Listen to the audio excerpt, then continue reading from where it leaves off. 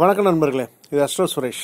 தினமொரு ஜோதிட தகவல் பகுதியில் இன்னைக்கு நாம் பார்க்க இருக்கிறது என்ன அப்படின்னா ஒருவருடைய வாழ்க்கையில் கடைசி காலத்தில் தனிமையில் யார் இருப்பதற்கான ஒரு வாய்ப்பு உண்டு.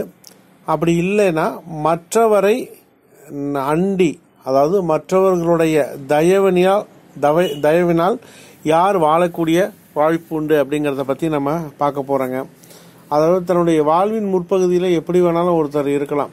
சரிங்களா? வசதி வாய்ப்புகளோட எல்லாமே இருக்கலாம்.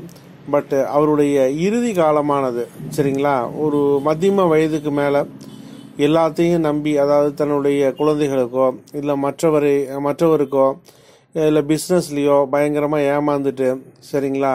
லாஸ் ஆகிட்டு ஒரு கஷ்டமான சூழல் இருந்து அடுத்தவங்களை டிபெண்ட் பண்ணி சரிங்களா? அடுத்தவங்களை கடுமையாக டிபெண்ட் பண்ணி அவங்க எப்படி சொல்கிறது அப்படின்னா அவங்க தயவாலேயே சாப்பிட்டுட்டு அவங்க கொடுக்கறது அவங்க கொடுக்கறத வச்சுக்கிட்டு பிழைக்கக்கூடிய ஒரு யோகம் அப்படிங்கிறது பார்த்தீங்கன்னா கொடுமையானது ரொம்ப.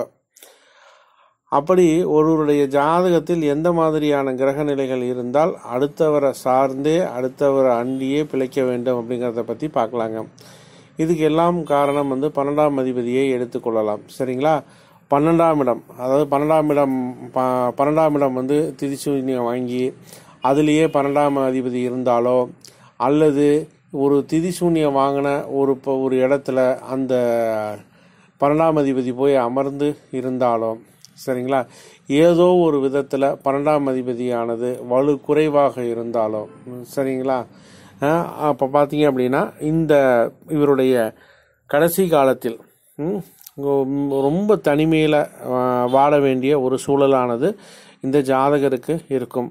அடுத்தவரை அண்டி பிழைக்கக்கூடிய ஒரு கூனி குறுகி வாழக்கூடிய ஒரு வாழ்க்கையானது இருக்குங்க. அதாவது ஏதோ ஒரு விதத்தில் பன்னெண்டாம் அதிபதியானவர் வலு குறைவாக இருந்தால் சரிங்களா? வலு குறைவாக இருந்தால் பின் வாழ்க்கையானது சற்று சிரமத்துக்குண்டானதாக இருக்கும். அப்படிங்கிறதுல எந்த விதமான மாற்று கருத்தும் இல்லைங்க. சரிங்களா? நண்பர்களை இதோட இந்த பன்னெண்டாம் அதிபதி சார்ந்த இந்த பதிவை முடித்துக்கொள்வோம் மீண்டும் வேறொரு பதிவுடன் நான் மறுபடியும் உங்களை சந்திக்கிறேன். நண்பர்களே இந்த சேனலை சப்ஸ்கிரைப் பண்ணாதவங்க சப்ஸ்கிரைப் பண்ணிங்க உங்கள் நண்பர்களுக்கும் இதை ஷேர் பண்ணுங்கள் அவங்களுக்கும் இது பயனுள்ளதாக இருக்கும். மீண்டும் வேறொரு பதிவுடன் சந்திக்கிறேன். நன்றி. வணக்கம்.